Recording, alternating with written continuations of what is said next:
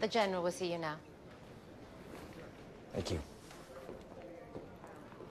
Operation Downfall. The entire might of the UDF, invading from France, the Mediterranean, Scandinavia, relieving pressure on the Eastern Front, allowing the Russians and Chinese to push the enemy back. We all meet in the middle, exterminating this mimic scourge along the way. A lot of good soldiers are going to die tomorrow, Major. You know, when the smoke clears and the body bags start coming home, people tend to look for someone to blame, someone like me. Ideally, I'd prefer a different scenario. Please. A best-selling memoir, perhaps. Maybe a career in politics?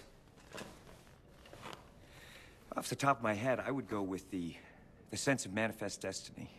Rags to riches, rapid rise through the ranks, born to deliver us, and the people. Well, they love that sort of thing. You misunderstand, Major. I didn't ask you here to sell me. I want you to sell the invasion. Okay. You ship out to the coast in one hour. Your camera crew is standing by. You'll be on the beach with the first wave. I'm sorry, the first wave the beach, you mean the front? France. Satellites show minimal enemy movement on the coast. Little resistance. Little exciting, something to tell your grandchildren. Well, I appreciate the confidence, General. Do, I do this to avoid doing that. It's-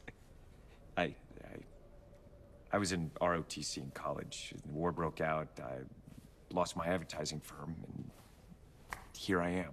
You know, I do what I do, and you, you do what you do.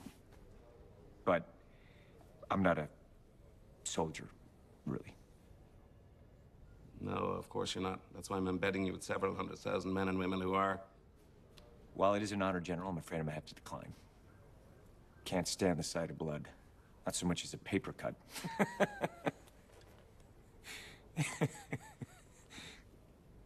uh, but uh, sitting here thinking about this. Uh, a couple of names come to mind that I feel I could recommend to you. It's It's not an offer, Major. It's an order. General.